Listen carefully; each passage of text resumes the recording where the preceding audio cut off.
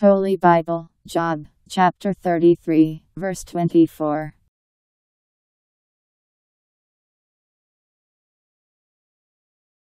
And if he has mercy on him, and says, Let him not go down to the underworld, I have given the price for his life.